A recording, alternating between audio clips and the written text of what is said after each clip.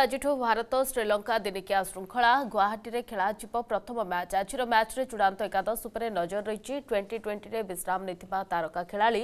ଅଧିନାୟକ ରୋହିତ ଶର୍ମା ବିରାଟ କୋହଲି କେଏଲ୍ ରାହୁଲ ଶ୍ରେୟସ୍ ଆୟର ଦଳଙ୍କୁ ଫେରିଛନ୍ତି ହେଲେ ଦ୍ରୁତ ବୋଲର ଜଶପ୍ରୀତ ବୁମ୍ରା ସୁସ୍ଥ ହୋଇନଥିବାରୁ ପୁଣି ଦଳରୁ ବାଦ୍ ପଡ଼ିଛନ୍ତି ଶ୍ରୀଲଙ୍କା ବିପକ୍ଷ ଟ୍ୱେଣ୍ଟି ଟ୍ୱେଣ୍ଟି ଶୃଙ୍ଖଳାକୁ ଦୁଇ ଏକରେ ଜିତିବା ସହ ପାଞ୍ଚ ବରିଷ୍ଠ ଖେଳାଳି ଫେରିବା ଭାରତୀୟ ଦଳକୁ ଅତିରିକ୍ତ ବଳ ଯୋଗାଇଛି ଚଳିତ ବର୍ଷ ଅକ୍ଟୋବରରେ ଭାରତର ବିଶ୍ୱକପ୍ ଖେଳାଯିବ ଏହି ବିଶ୍ୱକପ୍ ବର୍ଷର ଆଗାମୀ ଦଶ ମାସ ମଧ୍ୟରେ ଭାରତ ପନ୍ଦର ଦିନିକିଆ ମ୍ୟାଚ୍ ସହ ଏସିଆ କପ୍ ଖେଳିବ ଶ୍ରୀଲଙ୍କା ବିପକ୍ଷରୁ ଭାରତ ଆରମ୍ଭ କରିବ ବିଶ୍ୱକପ୍ ପାଇଁ ପ୍ରସ୍ତୁତ ଅଭିଯାନ